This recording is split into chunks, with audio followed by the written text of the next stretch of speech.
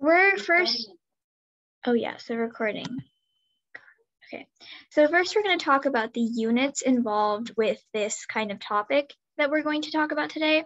So when we're talking about solutions like acids, bases, and other salt solutions, even like salt water, we usually use molarity. And the way we calculate molarity is the moles of solute, so whatever you're adding into the water. So in the example given here would be sodium chloride or table salt over the liters of solution, right? So the total amount of water and sodium chloride mixed together.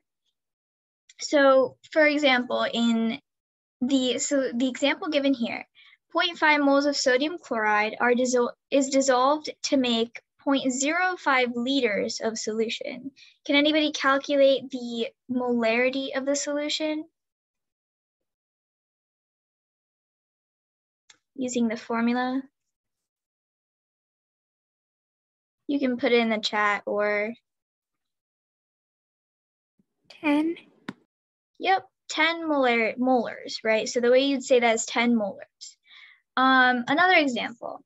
Uh, how many moles of MgCl2 are needed to make 0.67 liters of a 0.25 molar solution, right? So the capital M means molarity. So we, we're given the molarity, we're given the liters. So we just need to find the moles. Let me know when you guys have an answer.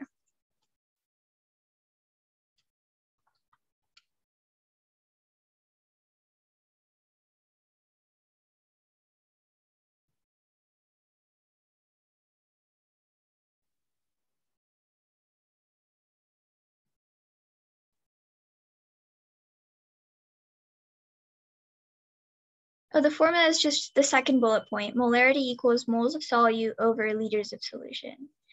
And you don't have to raise your hand or anything. You can just unmute yourself and, you know, shout out the answer.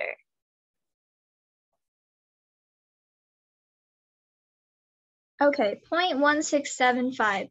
So the answer would actually be 0.17. Remember, you gotta account for sig figs. So when we're multiplying a two sig fig um, and a two sig fig number, your answer has to also have two significant figures. So the answer would be 0.17 moles of MgCl2. All right.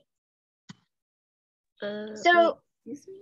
I don't really understand the first one. Can I go back and look at it again? Oh yeah, this first example? I mean the second one. Oh, the second one. Okay, yeah. so let me annotate and write out all the work. So we have the molarity, right? We're given the molarity right here. So 0 0.25 is equal to, um, we've got the liters. So this is what we're trying to find up here. And we've got the 0.67 liters. So this is what we need to find, right? So how would you go about solving that? Do you just like multiply the 0 0.25 with 0 0.6? Right, exactly. And that's how you're going to get X, and X is the moles of MgCl2. Nice. All right, anybody have any other questions? Are we good? All right, we're going to move on. So when we measure the acidity of a solution, we use pH. So that's a measurement of the hydrogen, ions in water, right? So it's on a scale of zero to 14 and zero up to like seven, that's acidic. Anything below seven is acidic. Anything above seven is basic. And at seven, you are at a neutral pH. If you measure water, you're gonna get a neutral pH. Um, sometimes it can be a bit like here and there, but usually it's around that seven number, um, which means it's neutral. So when you're looking at pH, um, the way you count sig figs is a bit different than how you would count sig figs for everything else. So for these kinds of sig figs, you would only count the numbers after the decimal point. So for example, a pH of 4.52 only has two sig figs, the five and the two a pH of 11.534 only has three sig figs, the 5, 3, and the 4. All right. how many sig figs does a pH of 8.3 have? One. One. One. Yes, One. that is correct. One. One. Good job. Yes, it only has one sig fig, so you'd only count the stuff after the decimal point. So, like I said before, the pH is a measurement of the concentration of hydrogen ions, right? So you've got these H plus ions floating around in the water, and that's what causes the change in acidity. So using pH, we can actually go back and forth between pH and hydroxide, not hydroxide, hydrogen ion concentration. So the equation you use for calculating the pH from the hydrogen ion concentration is the negative log of the concentration of H plus ions. And the way you go back from pH to hydrogen ion is 10 to the negative pH. So Uh, what is Then- negative log? um, log is like a, it's like a function on your calculator. You don't really need to know what it means. As long as you have a calculator with the log button, I'll see if I can show you. So do you see how this button just says log? I can't see it. Ah, okay, let me see. I can. Ah. Okay, wait here. Um, it's that one. One says log. Right, so when I do, let's say like negative log, I don't know, 0.25, okay? Oh, it's too exciting. Okay, let's try that. When I do that, I'm gonna get the pH and the pH is 0.6. So it's a very, very acidic pH. So you can just use the log button on your calculator. You don't really need to know what it means. Um, okay. So POH is like the opposite of pH, right? So anything below seven is not acidic with POH, it's basic, um, which means it has a higher concentration of OH minus ions. So these are kind of the equations you need to convert back and forth with pH, POH, um, hydroxide ion, the OH minus is called hydroxide, and then the H plus ions. So let's do a little bit of practice with this, okay? So if a solution has a pH of 5.62, what is the H plus um, ion concentration? So I'm gonna write out the equations real quick. So pH plus POH equals 14, pH log Uh, what is the M and the M like in the Yeah, so this means millimoles. Right, so you know how we learned about like converting between different like metric units? So it's like that, so molars, not moles. So it's a millimolar, so like molarity, and then you have millimolars, which are I think a thousand times smaller. uh okay. if you can't like get millimolars, you can just try, you know, just do molarity. It's not a big deal.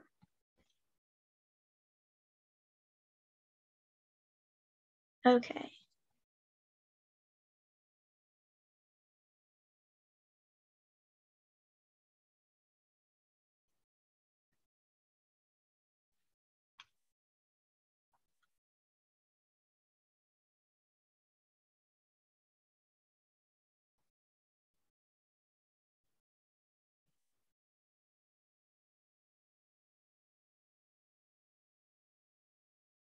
Did anyone get an answer? Yeah, someone put something in the chat. Oh, okay. I can't really. Okay, let's see.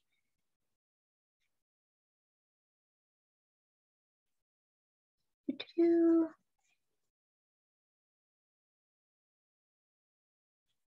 Hmm.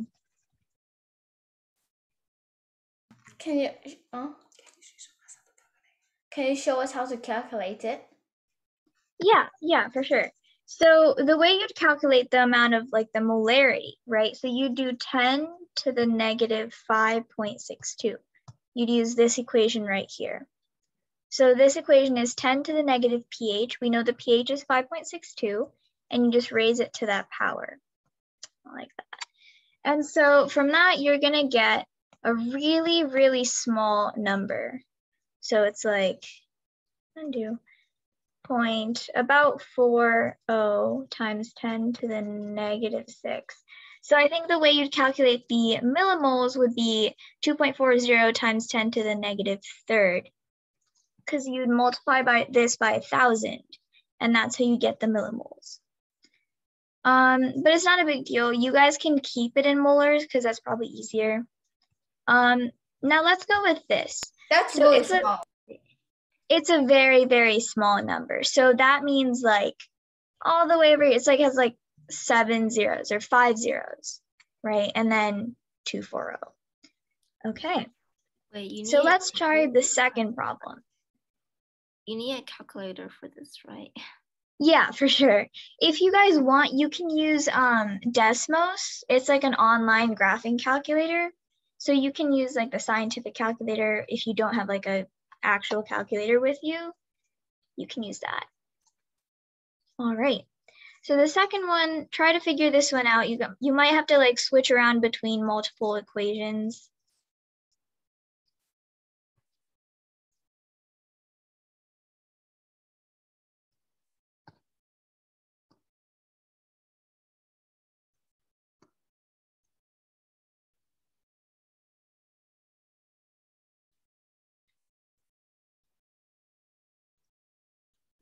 Uh, what does it mean by OH? So OH is like an ion. It's just like an it's an oxygen and a hy- hydrogen atom that are stuck together and they've like gained an electron. So it's like a it's like a it's like a molecule of its own and it kind of floats around in the water. How to calculate the second problem?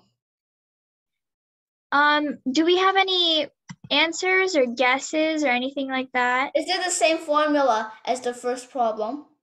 You can use there's a couple of different ways to solve this actually. So you just have to try to like go back and forth between the equations, right?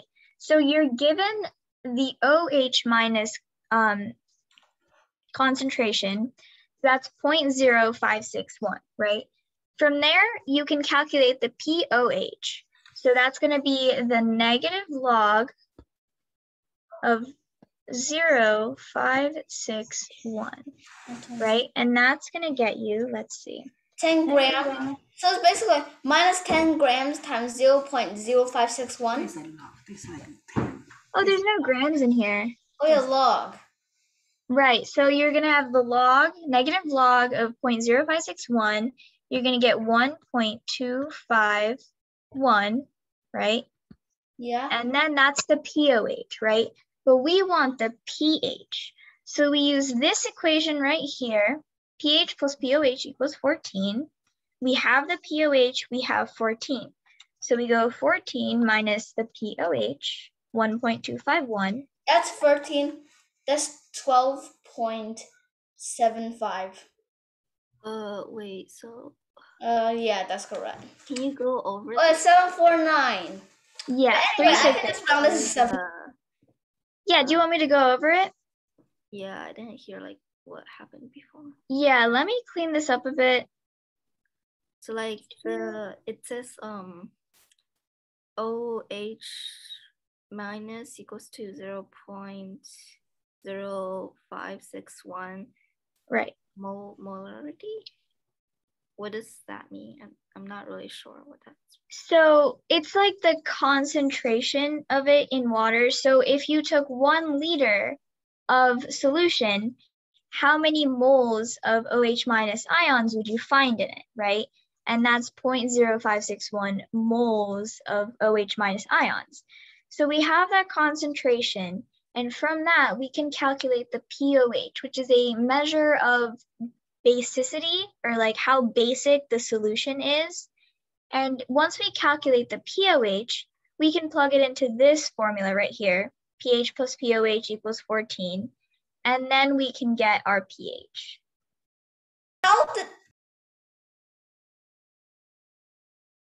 Yeah, go ahead and speak. Don't worry about it. how did they come up with the formula converting pOH to pH? I'm not sure how they came up with it. Um, I think they just kind of measured a few different things and then saw what kind of scale it came out to. Um, if you want to research like the history behind it, go ahead and do that in your free time. But yeah, we don't really have like a history maybe covering. they maybe they test both of them in this Right. scales, and then they came up with this formula, and then they test with more other things, a lot of other things, and then this formula become true. Right, exactly. So I don't really know the history, but you know, feel free to like Wikipedia it.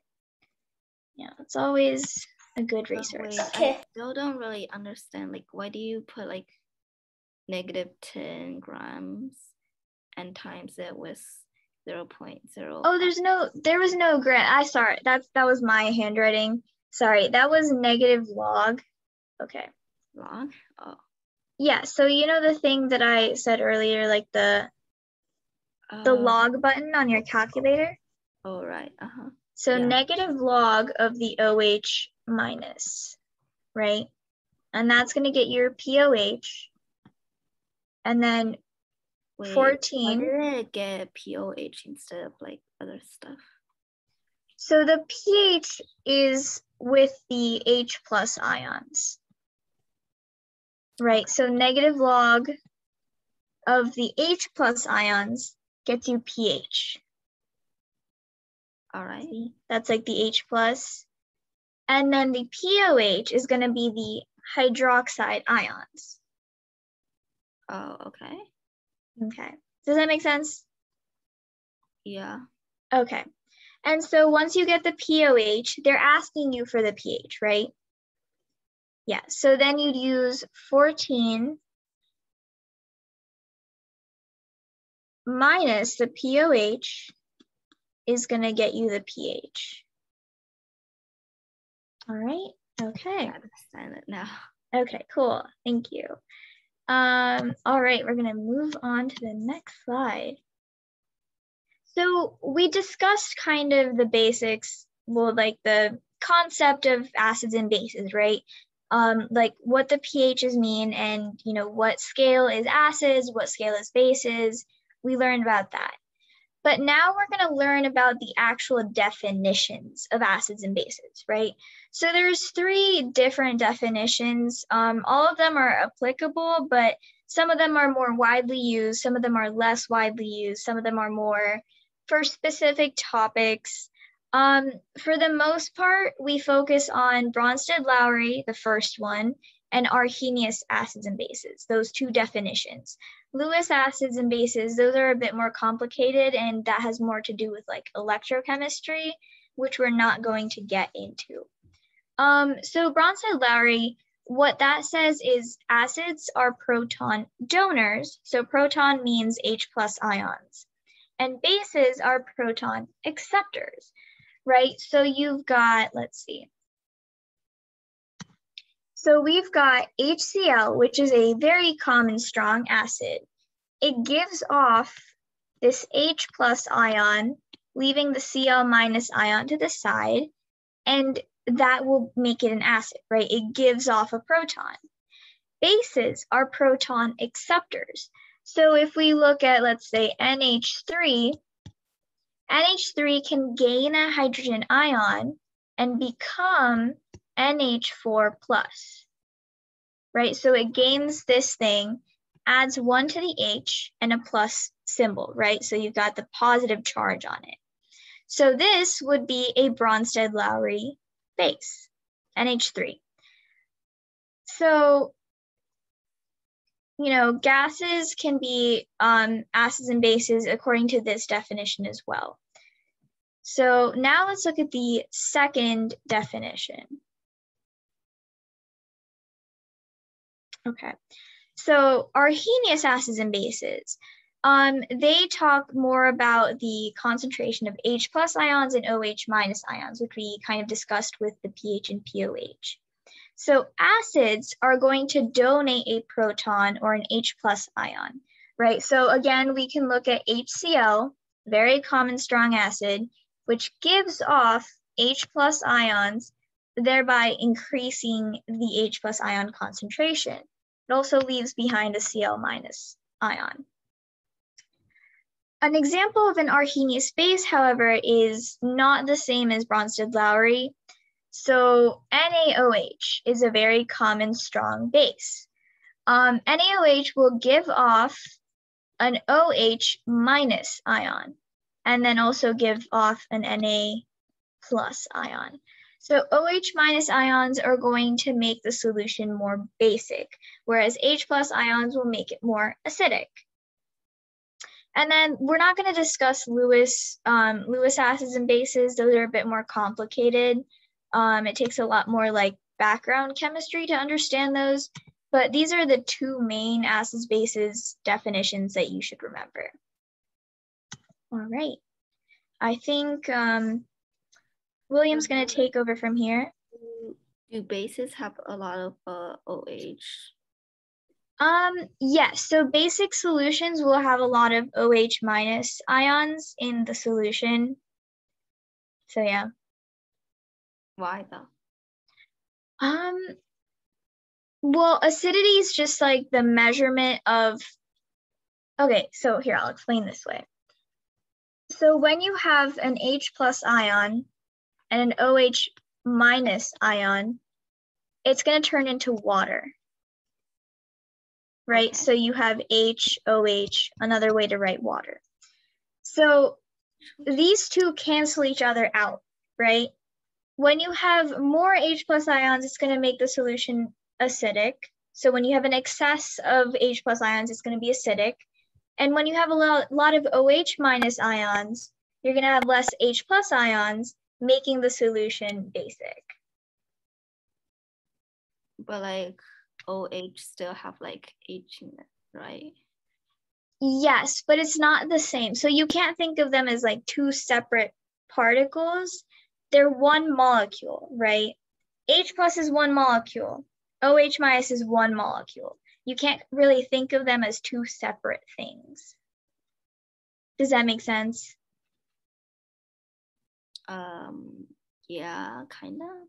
So Yeah. like if H is only by itself, it's like plus sign, and like OH, they're like minus. Yes. Yeah, basically just think about it like that. Okay. Yeah. Yeah. So yeah, all you need to know is hydroxide ions. So hydroxide is OH minus. That's going to make the solution very basic. H plus ions or protons, it's going to make it very acidic. All right. So yeah, yeah, this is what makes water neutral. So H plus OH minus ions are both in water, right? And when they combine, they make water, and that's like perfectly balanced. So you're going to get a pH of seven. All right. So I think, do you want me to stop screen sharing, William? Oh yeah, when I start, I think it just stops yours anyways. Okay. So, yeah. All All right. right, then. yeah. All right, yeah. So this is the next slide. Uh, basically, you've been hearing us talk a lot about uh, like strong acids, strong bases, right? Like we gave the example of HCl is a common strong acid, and uh, NaOH was a common strong base. Uh, well, we haven't like really explained what strong means yet, right? So that's what this slide is for. And you can see from the first line that strong, whether it's an acid or a base, it just means that uh, whatever you're talking about, so let's take HCl for example, it dissociates completely.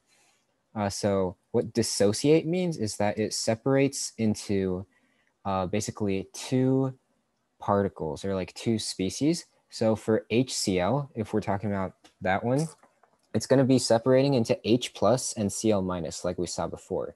But because this is a strong acid we're talking about, the reaction goes to completion. Uh, so I think like day two, we saw that some reactions have just forward facing arrows and other ones have like right and left.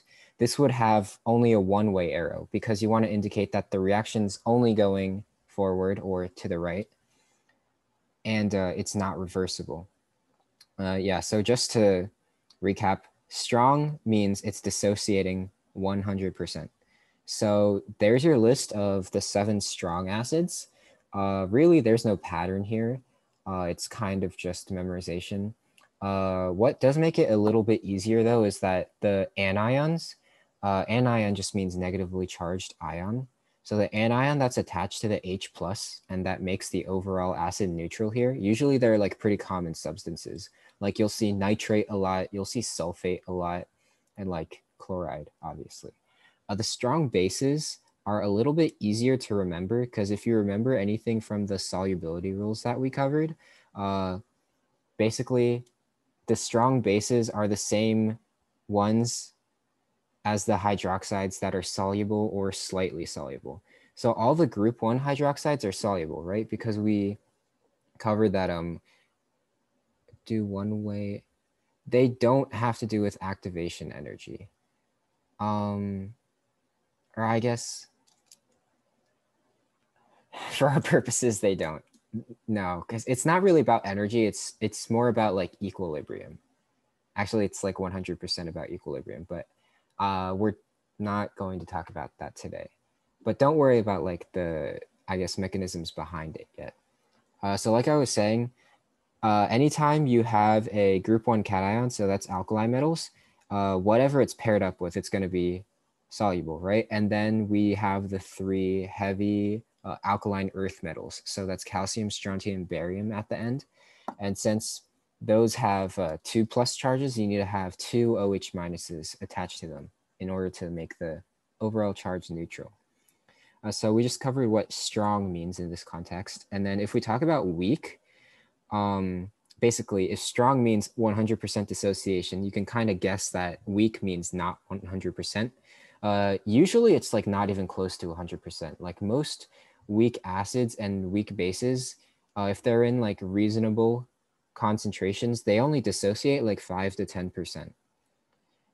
Uh, yeah, so weak acids and weak bases, there's definitely like not as much of a pattern to follow here. I just listed out a couple common ones. So like if we look at weak acids, that first one, uh, CH3COOH, that's acetic acid. Uh, you'll see it written other ways sometimes, uh, like I've mentioned like a lot. But basically that's the most common way you'll see it written. Uh, and HF, which is hydrofluoric acid, uh, you can see that it follows the same naming scheme of hydrochloric acid, right? Uh, and then there's nitrous acid, which has one less oxygen than nitric acid. That's also like part of the naming scheme. And then H3PO4 is phosphoric acid. And HCN is cyanic acid. Uh, wait, no, hydrocyanic acid. Uh, so CN minus is actually cyanide. You've probably heard of that before. And then H2S, it looks like water kind of, except the O is replaced with the S. That's a uh, hydro. I don't know. I'm having a little trouble today. I probably like hydrosulfuric acid or something like that. And then com common weak bases, uh, you'll see that nearly every weak base that you encounter in just like a general chemistry course, because they don't want to make it too hard on you, it's going to have a nitrogen in it somewhere. So the first one is ammonia. You've probably seen that a little bit, NH3. And then the second one is called pyridine. Uh, that one's probably like not as familiar to you, but you can see the N there. So if you see an N and it's not like nitric acid or nitrous acid, or I guess like hydrocyanic acid, if the H isn't out in front, basically, it's probably a weak base. Uh, so at the bottom, the pictures, uh, they're really just there to help you visualize what I was talking about dissociation earlier. So like if you look at strong acid, you can see HCl is only going to the right. It's making, or basically like if you dump a bunch of HCl into water, you're only going to have H plus and Cl minus in that water. So like 100% split into two. Whereas uh, for weak acids, so that's acetic acid again, uh, when you put some of that in water, you're actually going to have most of the acetic acid stay in its uh, original form. So it's going to stay as CH3COOH, but then some of it is going to split off into two and form H plus and the acetate anion. Uh, so before we move on, I just wanted to like cover something really quick. So most of us have heard of dissolving, or like all of us have heard of dissolving, but before today, you might not have heard of dissociation. So uh, a lot of people actually think it's like the same thing, but it's like slightly different, right? So dissolution, uh, that's what the process of dissolving is called. Uh, it's what you would think of for like the solubility rules, right? It's when you put like, usually you're thinking of a solid thing, right? You put the solid thing, AKA the solute into water usually. And if you like mix it around and uh, you eventually just like look at it and you can't tell that you put anything in, aka like the solution is clear, that means that uh, what you put in there was soluble and it dissolved. Uh, and uh, also your solute doesn't necessarily need to be solid. So like here, I said that ethanol uh, can also be a solute. Uh, if you don't know what ethanol is, it's like alcohol basically, like 70-ish percent of your rubbing alcohol is ethanol. Uh, so you can use ethanol and dissolve it in water. And uh, because they're like miscible liquids, uh, if you like stir it around and eventually just like leave it and look at it, you won't notice any like separated liquid layers or anything. It's just gonna look like one liquid layer. So basically that's the process of dissolving or dissolution. Dissociation takes it one step further. So in order to dissociate, something has to dissolve first but after that, it has to split into uh, multiple like subparts, basically. It doesn't necessarily have to be two, but like 99% of the time it's going to be two. So the example is if we add salt into water, it's not just going to stay as NaCl. Uh, it's going to become Na plus and Cl minus. So that's splitting into two different parts. Uh, yeah, that's probably dihydrogen sulfide or something. That's probably what it's called. Yeah, that is the rotten egg smell. Uh, yeah, that answer is right. That's what a carbonic acid is. That's a pretty common weak acid. I just like listed a bunch, so I probably forgot to list that one. And then uh, this is all leading up to basically this slide where we figure out how to find out if an acid or base is weak or strong, but we kind of have to cover this as like a prerequisite knowledge. So uh, you might have heard like conjugates before, just in like algebra, I guess. And it's kind of the same concept when it comes to chemistry, uh, just like applied kind of separately from math. So the conjugate acid of a base is simply that base, but with an H plus added on. Uh, so the reason it's called a conjugate acid is because you're adding an H plus, right? And an H plus is like the most basic acid, right? Like it's literally how you define an acid uh, by the concentration of H plus. So that's why this is the conjugate acid. Uh, so let's say that the base we're talking about is NH3, in other words, ammonia. What's the conjugate acid of NH3? Uh, what are we making if we add an H plus onto NH3?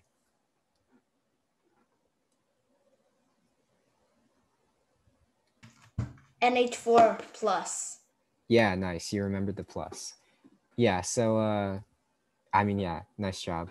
Uh yeah, we just want to make sure that whenever we're like doing reactions, not just to uh like we learned how we needed to add coefficients and like balance the number of atoms on each side, right? But we also actually need to balance the charge on each side. So that's what we did there by saying NH4 plus. Uh, let me annotate.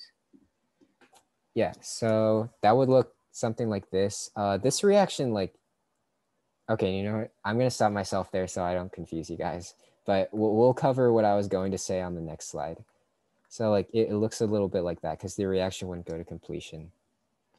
And then the conjugate base is like the literal opposite. Uh, you would take the conjugate base of an acid because uh, like you wouldn't ever need to take the conjugate base of a base really. But really it's that acid and you remove the H plus because uh, removing the H plus uh, kind of has the same effect of adding OH minus to a solution, right? You're making something less acidic, AKA more basic. So that's why it's called the conjugate base. So if we're talking about nitric acid here, what's the conjugate base of that? If anybody wants to give it a try. NO3 minus. Yeah, nice. So, uh, I mean, you can't really do chemical equations with minus signs. So instead of removing an H plus, I'll show adding OH minus, which has the same exact effect. Uh, so this would actually get a completion. So this would form water because you have the OH and the H plus, so those combine, and then you would get free nitrate. Uh, so that's how you can kind of like, I guess, mathematically visualize the concept of conjugate acids and bases. So all of that was kind of leading up to this slide, which is identifying uh, just like based on looking at the chemical formula of something or even like hearing its name, whether it's weak or strong and whether it's an acid or a base. Uh, so strong acids and strong bases, they're literally memorization. Uh, they're on slide nine. Uh, I mean, I don't know. You might remember a couple like NaOH is like the poster child for strong base and HCl, HNO3, H2SO4. Those are like the most common strong acids you'll see. But really the hard, harder part about identifying stuff are the weak acids and weak bases. Uh, so there are kind of two cases of each how you could like go about identifying them. So for weak acids, uh, if you see an H out in front basically of the chemical formula, uh, even though it could be like placed in the back, like usually chemical formulas sort by alphabetical order of the elements and then they just have the subscript telling you how many there are, right? But if somebody purposefully moved an H out to the front, even though there's H's in the rest of it, then they're basically trying to tell you that it's an acid. So if you see an H in front of the rest of the chemical formula and the following elements basically aren't any of these and these come from the list of strong acids, then it's probably a weak acid. So for example, HNO2. NO2 minus isn't part of my list here, so I can safely assume that this is a weak acid because they moved the H out in front for a reason. Uh, same goes with like, I don't know, HClO2. I don't know why I can only think of oxo acids right now. But uh, this second way of identifying is you look for conjugate acids of weak bases. Uh, this is kind of a circular definition because I haven't told you how to identify weak bases yet. So I'm going to go to that first and then come back.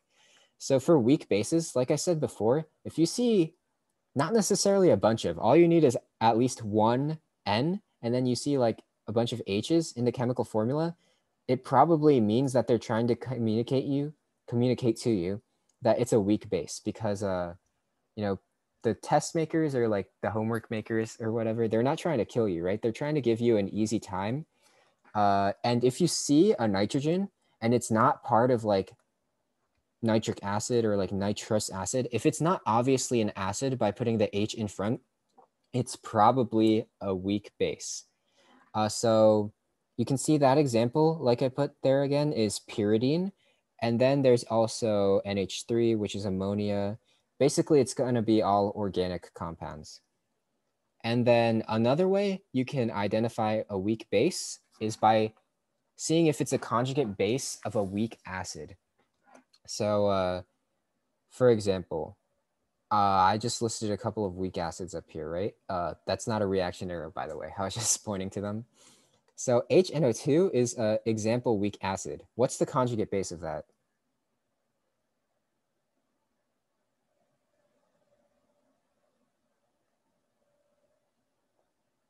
Anybody got an idea? Uh, yeah, I, I think you're on the right track. Yeah, it's NO2 minus, right? Because all we're doing is removing an H or removing an H plus, but you know, the letter that you remove is the H. So say we're treating this like a chem or like subtraction. Uh, you wouldn't really ever do this, but I just wanted to show the visualization. So you're left with NO2 in terms of your letters and your subscripts, but then you have to like subtract this positive sign. So you end up with a negative sign at the top, right? So that's the conjugate base of this weak acid. And because it is the conjugate base of a weak acid, it's actually a weak base. Uh, and just as a reminder, weak base means it's basic in solution, right? So it's got a pH above seven and that it doesn't dissociate completely. So basically, it's not going to have as strong as an effect as like NaOH, for example. And then uh, if we just talk about like NH4 plus being a weak acid, its conjugate base is actually ammonia, which is how you can tell that that's a weak base if you didn't just like have it memorized or something. And we've been talking about the conjugate acids and bases of weak stuff, right? But what about the strong stuff? If we take the conjugate base of a strong acid, like let's talk about HCl for a second, we're left with Cl minus if we subtract an H plus, right? Um, yeah, so what effect uh, on the pH of the solution is this going to have, if any? Oh, oops. So the actual answer to that is that it's not going to have any effect. So if you just have, I guess like, if you kind of try to imagine this, if you just have um, a solution of salt, you have Na plus and Cl minus in there, right? Uh, I'm just gonna do like a spoiler and tell you that the Na plus actually doesn't have any effect on the pH of the solution either. Uh, but the Cl minus doesn't either. So you actually just have a pH 7 solution of water if you're at like room temperature. And the reason that Cl minus or any conjugate base of a strong acid doesn't have an effect on the uh, pH of a solution is actually uh, pretty like intuitive if you think about it. So we're talking about strong acids. If HCl is in solution, all of it is going to go to H plus and Cl minus.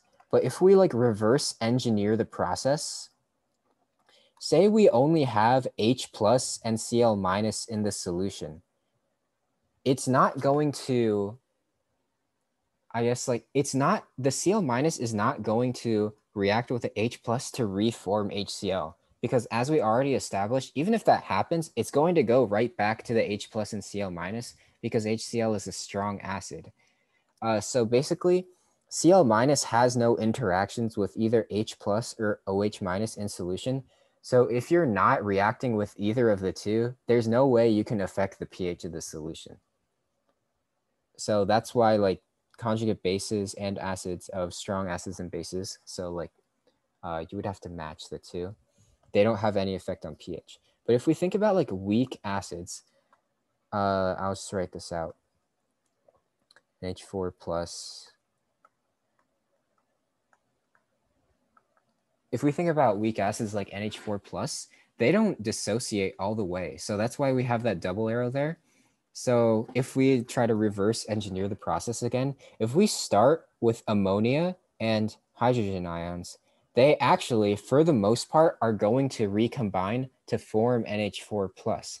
So that's why NH3 is a weak base because it's stealing H, H plus from the solution to make NH4 plus. And uh, if you look at it the other way, NH4 plus is a weak acid.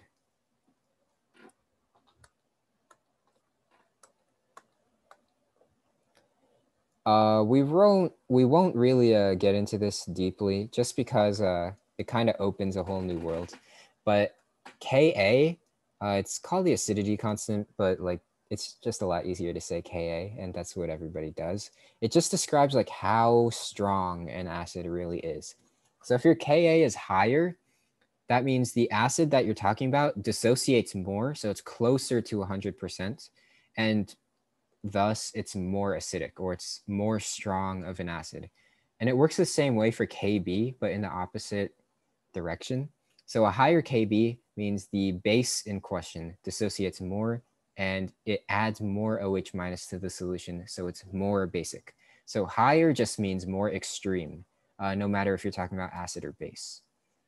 Uh, usually we think of strong acids as having a Ka of one it's not necessarily like an exact science, but for water, uh, like we only use water as a solvent pretty much in general chemistry, right? For water, it's completely fine to uh, assume that. So basically strong acids have a Ka of one, and then any weak acids are going to have Kas like 10, 100, 1,000, even like, I don't know, like 10 billion times lower than that. So you can get an idea of like just how different they are in terms of strength. Oops. Okay, so this is just kind of a thinking question. So there are a couple like things you need to put together for this, but there's no math really. So uh, based on their two KAs, and there's the table there for you to look at, would a point one or 0.010 molar solution of nitrous acid or a solution of the same molarity, aka concentration of acetic acid have a lower pH. So basically, there's two things you need to think about here.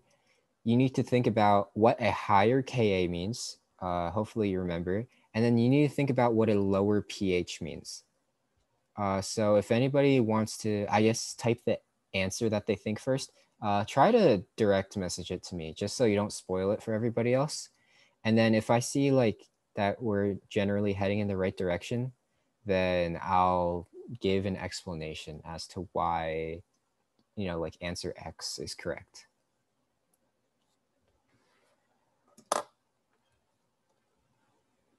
So remember, higher Ka means what about the acid?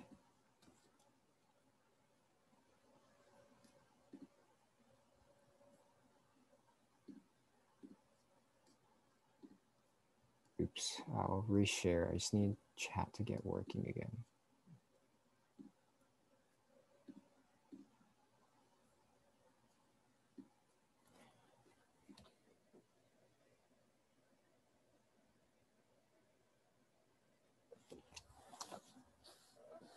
Um, it's actually not that one. Uh, I don't think about. You can use the last slide before this one. Uh, think about what lower pH means, right? Because pH is kind of on a counterintuitive scale. Like, okay, yeah, I don't want to give it away, but lower pH means that you're either acidic or basic, and higher pH is obviously the opposite answer.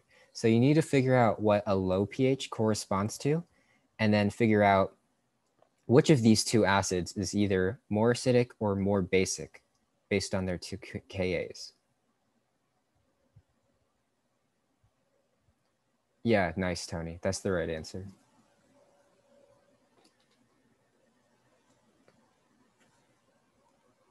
Oops, I need to check how we're doing on time.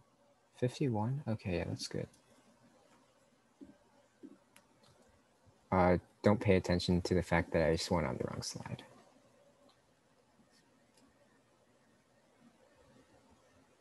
All right, yeah, I'm gonna start explaining now. So uh, where's my annotation tool? Come on.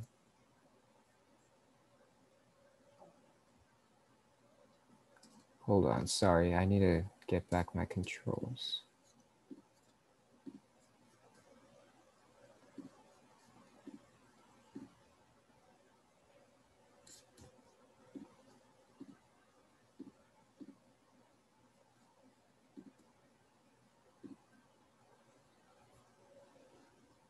Yeah, Veer, that's right. All right, yeah, so I am going to ex explain. So basically, we covered in the previous slide that a higher Ka means that this acid is more acidic than the one we're comparing it to. So if we look at nitrous acid and we look at acetic acid, and uh, I did write it in a different way, but I've been like alluding to the fact that this and this are the same thing for a little bit now. Acetic acid has a lower Ka than nitrous acid. Uh, since they, I mean, first of all, they have different powers of 10. So obviously negative five is a uh, more negative exponent than negative four. So this Ka is bigger. Uh, so nitrous acid, this one, has the higher Ka, right? So it's more acidic.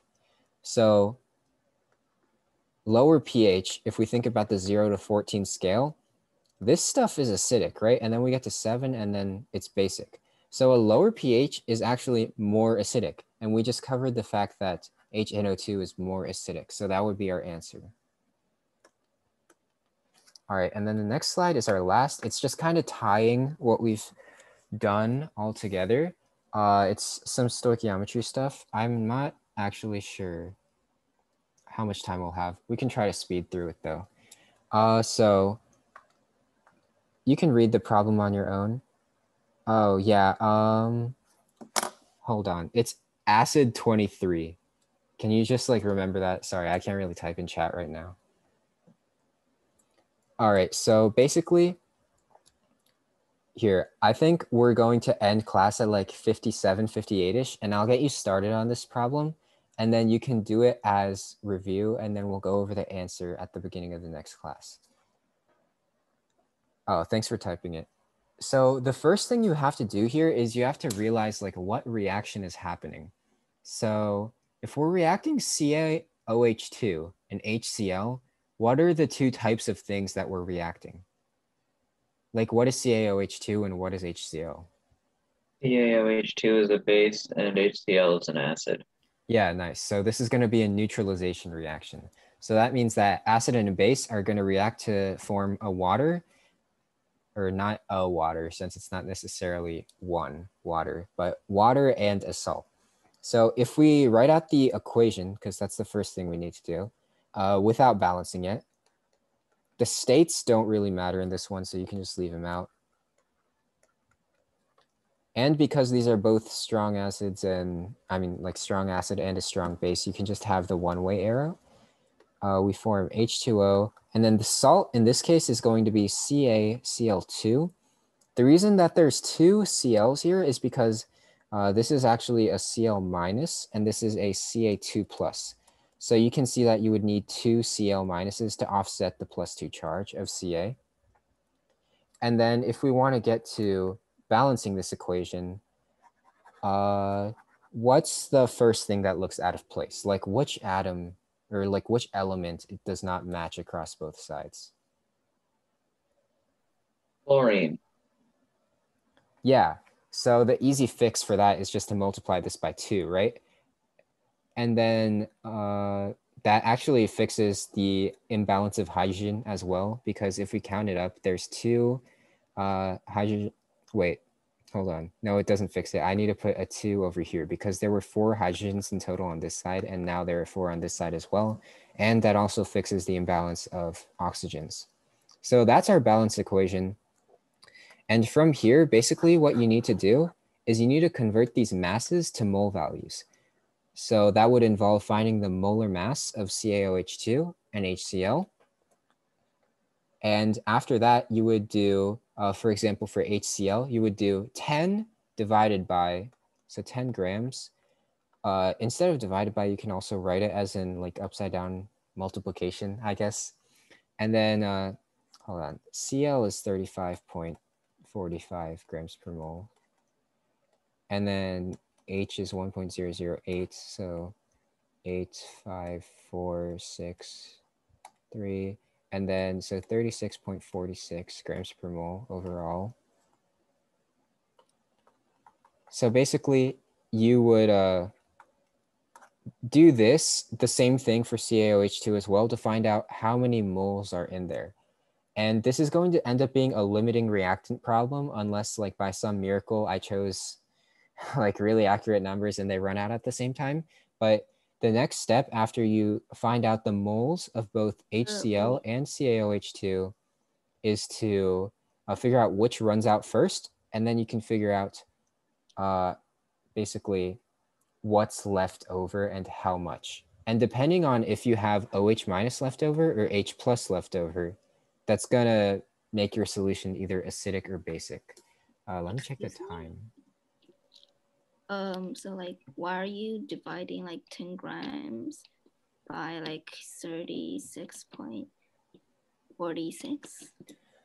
um basically it's because i'm dealing with hcl right now. So i was given that i have 10 grams of pure hcl and then the 36.46 is the molar mass of hcl so what i did on this left side over here is uh, i just have this memorized because like they're elements that you encounter often but if you look at your periodic table, for example, this is the number. Oh, I kind of wrote over that three, but 35.45, it might have a three on the end, uh, depending on what periodic table you look at. But that's the number under chlorine. So that's the atomic mass of chlorine. And then the 1.008 is the atomic mass of hydrogen. And those are the only two parts of HCl, right? So if you add up those two masses, you get the molar mass of HCl. And uh, the reason we need to convert to moles in the first place is because that's kind of like the universal unit of amount. Because, uh, like, say I have one gram of, I, I don't know, like salt and one gram of, like, I guess soap. like they're not going to react in the same amount because they have different molar masses and basically like one gram does not equal one gram if you're not talking about the same thing yeah we kind of you uh, convert to molar, what do you do next? So after you convert to moles, oh sorry, I just need to explain this really quickly since we're running out of time. Uh, but I'll review it at the beginning of the next class too. What you do is basically, uh, you know that for every one part of CaOH2 you use, you have to use two times that much HCl just because that's how we wrote the equation out, right? So like say I end up having one mole of H or CaOH2 and we ha- have like 2.5 moles of HCl. These are just like random numbers, by the way. Uh, if this reaction is going to go to completion, then I need to use one mole of this, but I would use two moles of this at the same time just because like we have that one to two ratio written out in the equation. So I would use all of the CaOH2 and I would have 0.5 moles HCl left over. And then what you do with that is you would plug it into the pH equation. Uh, basically, like 0.5 moles HCl, because HCl is a strong acid, is the same thing as 0.5 moles H plus. I'm also like not doing sig figs right now, by the way. And then you would divide that by uh, 35 milliliters written in liters, because like that's the units of molarity. Sorry if I'm going too quick too Wait, what? Oh, because oh, yeah okay. 35 milliliters is the same thing as 0.035 liters and then if you take the negative log of this this gives you whatever your ph is. So like that's the roadmap but yeah sorry we can't like do it for real right now. Here i'm going to stop sharing and end the recording. Uh it has hit